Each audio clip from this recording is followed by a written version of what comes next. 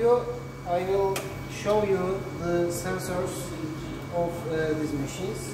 There are three uh, actual sensors here.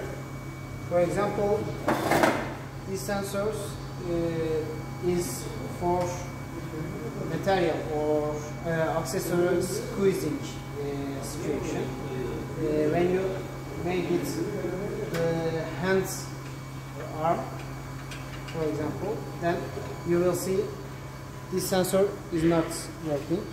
If it is in the right position here, then the sensor is light on, then that's okay. And also there is a finger guard system here. Uh, when you make it, and uh, you, you will not take it your finger here.